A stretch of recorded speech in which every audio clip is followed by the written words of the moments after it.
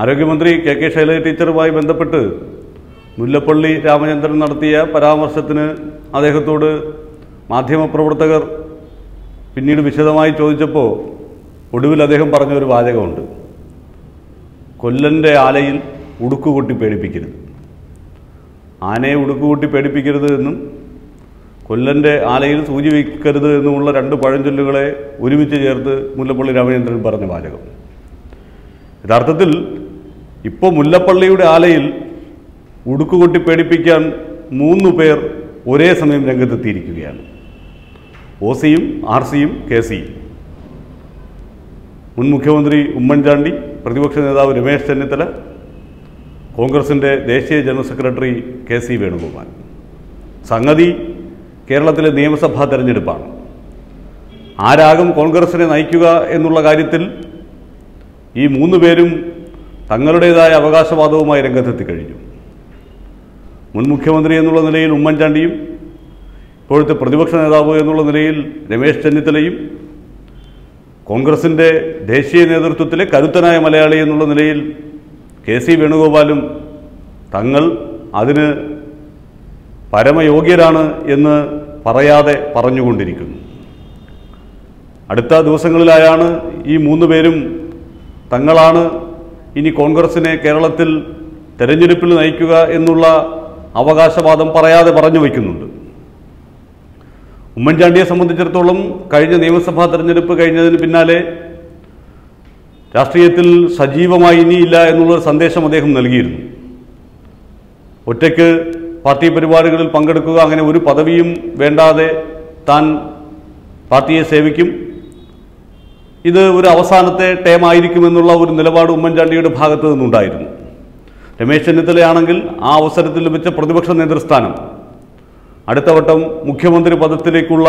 ഏണിയാണ് എന്ന് കരുതിയിരുന്നു പൊടുന്നനെ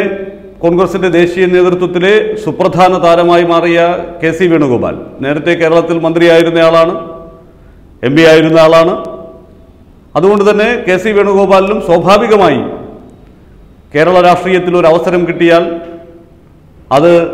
തട്ടിക്കളയേണ്ട കാര്യമില്ല എന്നുള്ള തിരിച്ചറിവുണ്ട് ആ തിരിച്ചറിവിൽ നിന്ന് തന്നെയാണ് ഇപ്പോൾ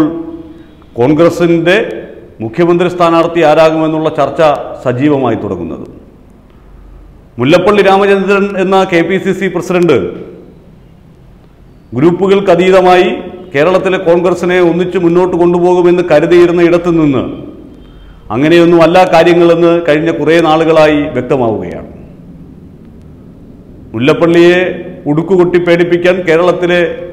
ഗ്രൂപ്പ് സമവാക്യങ്ങൾക്ക് കഴിയില്ല എന്ന് എല്ലാവരും കരുതിയിരുന്നു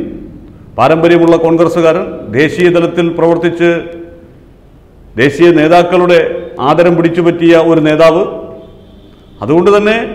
ഗ്രൂപ്പ് രാഷ്ട്രീയത്തെ വേരോടെ പിഴുതെറിയാൻ മുല്ലപ്പള്ളിക്ക് കഴിയുമെന്ന് കരുതിയവരെ ഈ നിമിഷം വരെയും അമ്പരപ്പിച്ചുകൊണ്ടിരിക്കുകയാണ് മുല്ലപ്പള്ളി രാമചന്ദ്രൻ പാർട്ടിയുടെ ഭാരവാഹികളെ നിശ്ചയിക്കുന്ന കാര്യത്തിൽ പോലും ഗ്രൂപ്പുകൾക്ക് അതീതമായി ഒരു തീരുമാനമെടുക്കാൻ മുല്ലപ്പള്ളി രാമചന്ദ്രന് കഴിഞ്ഞിട്ടില്ല ഒന്നും പുതുതായി സംഭവിച്ചിട്ടില്ല എല്ലാം ചെറുതാക്കിക്കളയും കളയും എന്ന് മുല്ലപ്പള്ളി രാമചന്ദ്രൻ അവകാശപ്പെട്ടുവെങ്കിലും ഇപ്പോഴും മുപ്പത് പേർ ജനറൽ സെക്രട്ടറി പദത്തിലുണ്ട് നൂറോളം പേരുടെ പട്ടിക സെക്രട്ടറി സ്ഥാനത്തേക്ക് തയ്യാറാക്കി വച്ചിരിക്കുന്നു അത് ഇതുവരെയും പ്രഖ്യാപിക്കാൻ പോലും കഴിഞ്ഞിട്ടില്ല അങ്ങനെ ഭാരവാഹികളെ തിരഞ്ഞെടുക്കുന്ന കാര്യത്തിൽ പോലും ഗ്രൂപ്പ് സമവാക്യങ്ങൾക്കപ്പുറം പ്രവർത്തനം മാനദണ്ഡമാക്കാൻ കഴിയാതെ പോയ കോൺഗ്രസ് അതിന് നേതൃത്വം നൽകുന്ന മുല്ലപ്പള്ളി രാമചന്ദ്രൻ ആ മുല്ലപ്പള്ളി രാമചന്ദ്രനെ യഥാർത്ഥത്തിൽ ഇപ്പോൾ ഉടുക്കുകൊട്ടി പേടിപ്പിക്കാൻ പോകുന്നത് ആ ഗ്രൂപ്പ് സമവാക്യങ്ങളുടെ നേതാക്കൾ തന്നെയാണ് രമേശ് ചെന്നിത്തലയും കെ സി വേണുഗോപാലും ഫലത്തിൽ ഒരു ഗ്രൂപ്പിൻ്റെ നേതാക്കൾ തന്നെയാണ് എങ്കിലും ദേശീയ രാഷ്ട്രീയത്തിലെ സജീവ സാന്നിധ്യമായി മാറിക്കഴിഞ്ഞതോടുകൂടി കെ സി വേണുഗോപാൽ കേരളത്തിലൊരു സമാന്തര ഗ്രൂപ്പ് ഉണ്ടാക്കിയിട്ടുണ്ട് എന്ന് എല്ലാവർക്കും അറിയാവുന്ന പരസ്യമായ രഹസ്യമാണ് അതുകൊണ്ട് തന്നെ കെ സി വേണുഗോപാലും ഉമ്മൻചാണ്ടിയും രമേശ് ചെന്നിത്തലയും ഒരു ത്രികോണ പോർമുഖം നിയമസഭാ തെരഞ്ഞെടുപ്പുമായി ബന്ധപ്പെട്ട് പാർട്ടിയെ നയിക്കുന്ന നേതാവാര് എന്നുള്ള കാര്യത്തിൽ തുറന്നിടും എന്നുള്ള കാര്യത്തിൽ ഒരു സംശയവുമില്ല കേരള രാഷ്ട്രീയത്തിലേക്ക് വരാൻ ആരാണ് ആഗ്രഹിക്കാത്തത് ഞാൻ ദേശീയ നേതാവാണെങ്കിലും കേരളം തന്നെയാണ് എൻ്റെ തട്ടകമെന്ന് കെ സി വേണുഗോപാൽ ഒടുവിൽ പറഞ്ഞു വയ്ക്കുന്നു കേരളത്തിലെ ലോക്സഭാ തെരഞ്ഞെടുപ്പിൽ ആലപ്പുഴയിൽ നിന്ന് മത്സരിക്കാൻ താല്പര്യം കാട്ടാതെ മാറി നിന്ന് ഒടുവിൽ രാജസ്ഥാനിൽ പോയി എം പി ആകേണ്ടി വന്നയാളാണ് കെ സി വേണുഗോപാൽ എന്ന് ഓർക്കണം അതേ കെ സി വേണുഗോപാലിന് ഇപ്പോഴും കേരള രാഷ്ട്രീയത്തോട് തന്നെയാണ് സ്നേഹമത്രേ അങ്ങനെയെങ്കിൽ ആലപ്പുഴ മത്സരിച്ചുകൂടായിരുന്നു എന്നുള്ള ചോദ്യമുണ്ടല്ലോ ഉമ്മൻചാണ്ടിയെ സംബന്ധിച്ചിടത്തോളം അദ്ദേഹം സജീവ രാഷ്ട്രീയത്തിൽ നിന്ന് സ്വമനസ്സാലെ മാറി നിൽക്കാൻ തീരുമാനിച്ച ആളാണ് പക്ഷേ ഗ്രൂപ്പിനുള്ളിലെ സമ്മർദ്ദം അതിശക്തമായതോടെയാണ് വീണ്ടും ഉമ്മൻചാണ്ടി സജീവമാകുന്നത് ഉമ്മൻചാണ്ടിയെപ്പോലെ ജനങ്ങളുടെ ഇടയിൽ അംഗീകാരമുള്ള ഒരു നേതാവ് അടുത്ത തെരഞ്ഞെടുപ്പിൽ പാർട്ടിയെ നയിച്ചില്ലെങ്കിൽ അത് പാർട്ടിക്കും മുന്നണിക്കും ഒന്നാകെ തിരിച്ചടി ഉണ്ടാക്കും എന്ന ബോധ്യത്തിൽ നിന്നാണ് എ ഗ്രൂപ്പിലെ പ്രമുഖരായ നേതാക്കൾ ഉമ്മൻചാണ്ടി വീണ്ടും സജീവമാകണം എന്നുള്ള നിലപാടുമായി അദ്ദേഹത്തെ സമീപിച്ചതും അദ്ദേഹം അതിന് തയ്യാറായത് രമേശ് ചെന്നിത്തലയെ സംബന്ധിച്ചിടത്തോളം പ്രതിപക്ഷ നേതൃസ്ഥാനം